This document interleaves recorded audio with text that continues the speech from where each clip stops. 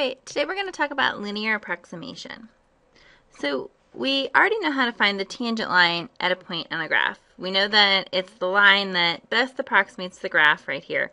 And we know that if we zoomed in really close on this graph, this graph would actually look like a straight line. So if we're really close to the point where we took the tangent line, which is maybe here, then we know that our tangent line is almost the same as the graph, and in fact would be a good approximation for the graph. Let's go ahead and calculate what that tangent line should look like. We've been using point slope form of a line, so we've been using y minus y1 equals m times x minus x1. So if we know that the point is a f of a, then we would have y minus f of a equals the slope, which would be f prime of a, times x minus a. So if we put this f of a on the other side, we have y equals f prime of a times x minus a plus f of a. And this equation, this, this is an equation of a line, we're going to actually call this L of x. It's the linear approximation at a of our function f of x. But it's just the same tangent line we've always found before. We're just solving it for y, essentially.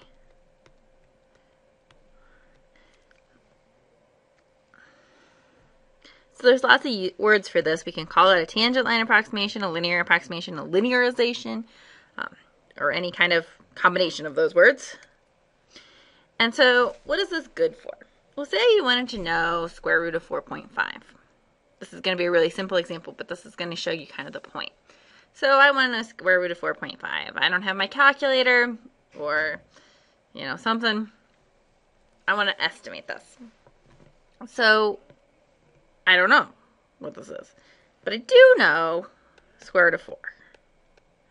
I know the square root of 4 equals 2.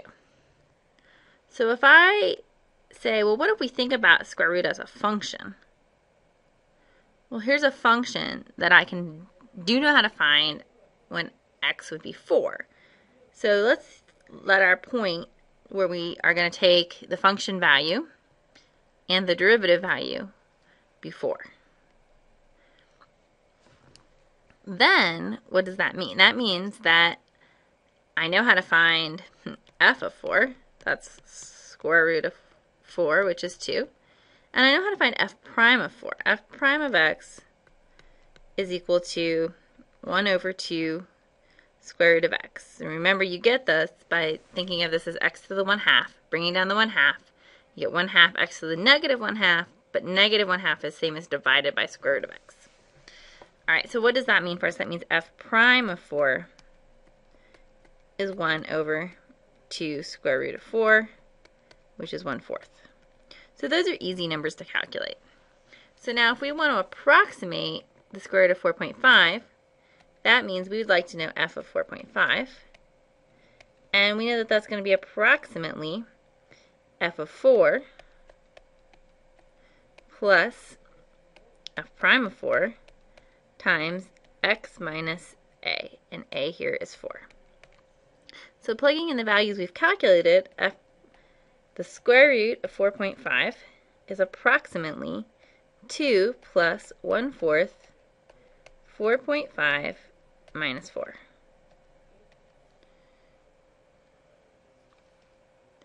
Maybe I should actually put this x right here. Because this is this is the linearization centered at 4 for any value x, and then I'm going to plug in 4.5. So what does that tell me? That tells me that my approximate value is 2 plus 1 fourth times 1 half, so 2 and an eighth. And now I have something that, if I square it, is probably close to 4.5. So do you think this is actually an overestimate or an underestimate? So my question here, another way to say it would be, is 2 and 1 eighth, is that answer too big or too small? Well, we can find that out really quickly for this example, since it's a square root function, just by squaring it. So if we take 2 plus 1 eighth, and we square it, what do we get? 4.5156. So that's pretty close to 4.5, but it's a little bit too big. So that tells us that we have an overestimate. We also could look at the graph of the function and its tangent line. And we can see that the tangent line lies above the graph, so it's an overestimate. The little bubble over here, though, is saying, can we tell this without drawing a picture, without using our calculator? And it turns out that we can. Because what does it mean? Is, is there anything that measures whether the tangent line lies above the graph or below the graph? There is. Concavity. Concavity actually can be defined in terms of whether the tangent line is actually above or below the curve. So a function is concave down when the tangent line is bigger than the curve, above the curve, and concave up when the tangent line is below the curve. So what that means for us is if we took the second derivative of f of x equals the square root of x, the first derivative was 1 half x to the negative 1 half. And the second derivative is negative 1 fourth x to the negative 3 halves. We can see that this is a negative second derivative when we put in positive values of x. So it's concave down for x bigger than 0, which is really all the ones we care about. So concave down means the tangent line is bigger than the curve, which means that our estimate, which is plugging into the tangent line, our estimate is bigger than the actual value. Now what if we wanted to know how far off our estimate was from the real thing? Well, we can calculate what we would call the error by looking at the difference between what we get and what we're supposed to get. So we can say that our approximate value minus the real value, and then we don't really care if that's a positive or negative number, so we're going to pick absolute values of that.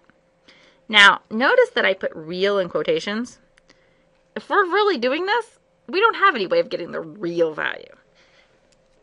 In uh, make-believe calculus world, right now, we can take the real value, at least a better estimate of the value, to be what the calculator gives us. So our approximate value was 2 and 1 eighth, so that's 2.125 minus the calculator here is going to give me the square root of 4.5 to be 2.12132. And of course, it keeps going on. It's an irrational number. So it never actually repeats. It never ends. You can't write it as a fraction. But we can at least get some idea how big the error is by comparing this approximation, which we're assuming is not as good as the calculator approximation. So subtracting those two numbers, we're going to get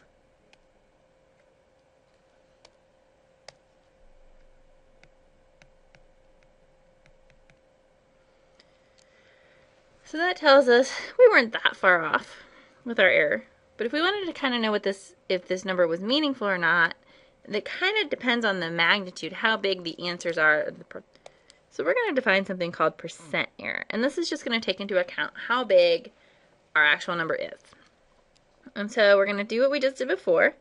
Approximate value minus exact value. So here it would be 2.125, that's 2 and an eighth minus the exact value of square root of 4.5, whatever the calculator says there, divided by the exact value and absolute value, so absolute value of square root of 4.5, times 100. So this is going to give us a percent that kind of tells us how bad our error is.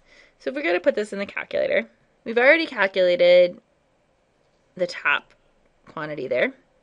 And so we're going to take that and divide it by square root of 4.5 and then multiply by 100. And so we get 0.1734. This is, of course, approximate because we don't know the complete square root of 4.5, but 0.1734 dot dot dot. So we did a pretty good job estimating square root of 4.5. Now, this all seems kind of silly, especially with our calculator. So why do we actually do this? Well, this is actually an example, the simplest example of something you're going to see in Calc 2 uh, called Taylor polynomials.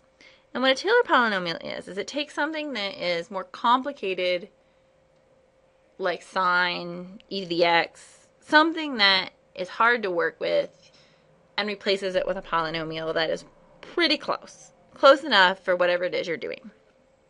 So an example of doing this, um, where they decide that a line is a good enough polynomial approximation, is in physics when they're calculating the formula for the period of a pendulum. So they do the derivation and they get negative g times sine of x is what the formula should be for a tangential acceleration. But this is hard to work with. So they decide to replace sine of x with its linear approximation near zero. So what is the sine, linear approximation of sine of x near zero?